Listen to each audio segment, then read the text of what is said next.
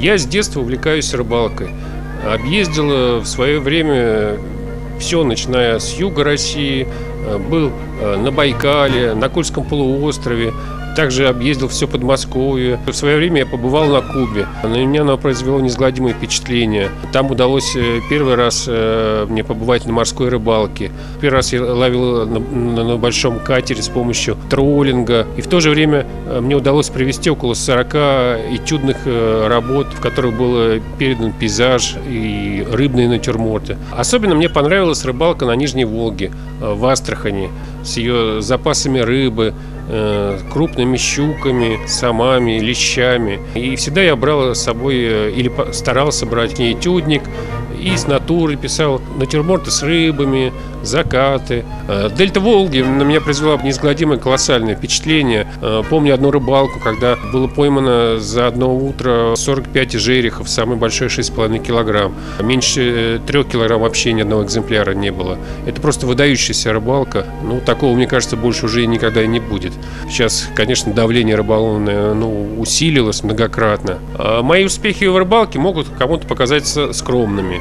Э, ну, в морской рыбалке может быть так. Ну да, была поймана барракуда большая, ну, около 17 килограмм. В ловле в низовьях Волги, конечно, были и очень интересные экземпляры. Э, один раз мне попался сом весом 67 килограмм. Его как раз снимал э, Оскар Соболев.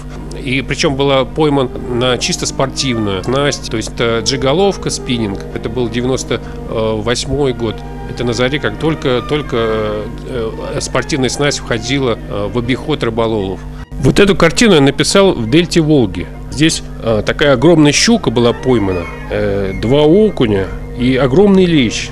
И картина написана вот уже давно, 2003 год. Это почти, как я называю, антиквариат.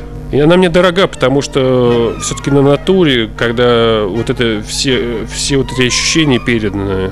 И вот я их выложил на земле, теплый, горячий окунь, и вот этот зеленый, травянистый.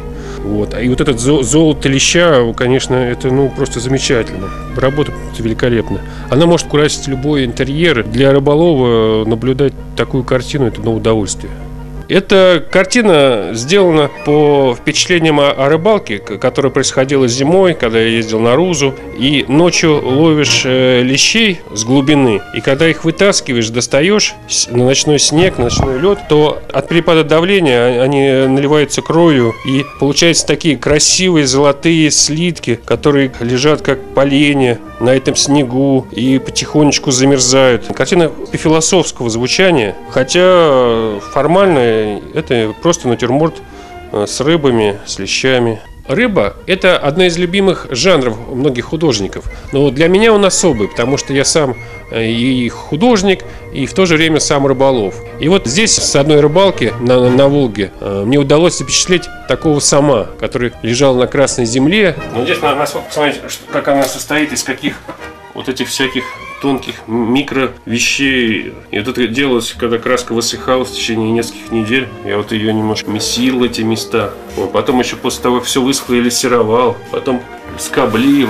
Э, технически картину я как раз сделал очень долго, в течение полугода. Это не за один, не за два, не за три сеанса сделано. А, хотя, значит, она была там, но уже в Москве я ее довел до совершенства. Работа, ну, мне очень нравится, очень нравится. Но по большому счету, на самом деле не важно, какую рыбу э, пишет художник, как она называется, сом, судак, лещ или еще другие.